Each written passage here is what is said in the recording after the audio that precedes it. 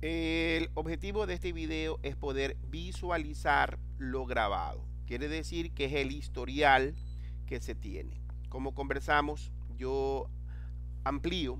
Lo primero que debo de tener es crear el vínculo, la relación que existe entre tu programa PSS con el DVR. Que quiere decir que yo voy a iniciar sesión, ¿no verdad? Selecciono, puedo tener algunos DVR yo selecciono uno de los DVR, inicio sesión, se va a comunicar entre el software de tu computadora con el DVR. Y yo lo puedo visualizar las cámaras. Ahí ya tengo ya una relación. Si quiero puedo ver las cámaras en tiempo online o si no, no. Eh, lo que me interesa, que ya está hecho el puente y actualmente lo que voy a ver es qué es lo que tengo grabado en los días anteriores donde yo selecciono esta opción. Yo tengo un menú en el PCS, escojo el tercero que me dice reproducir. ¿Qué vas a reproducir? Vas a reproducir los días anteriores. Los días anteriores es lo que vas a reproducir. Aquí tienes una imagen de 4. Dice qué dispositivo. Recordemos que dispositivo están hablándote de qué DVR vas a seleccionar. Te dice, ¿quieres ver canal 1?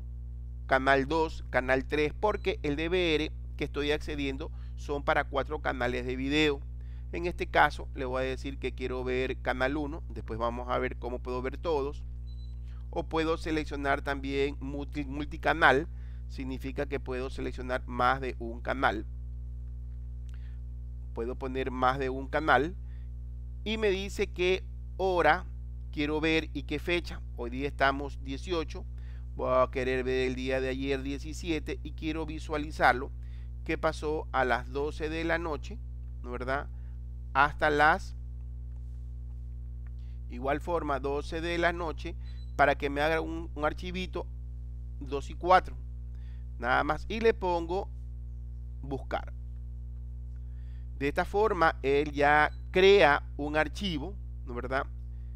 y yo lo puedo descargarlo descargarlo a mi computadora, lo puedo transformar en AVI o lo puedo reproducir. Si yo le pongo reproducir, él ya me está mostrándome qué pasó en esta cámara, en esta cámara a esa hora y en la parte inferior yo tengo también el tiempo.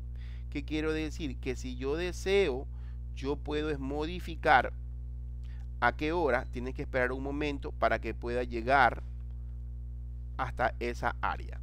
De aquí yo puedo manipular como que estuviéramos en el propio DVR en tiempo online, pero solamente estoy viendo es una sola cámara, una sola cámara como estábamos indicando.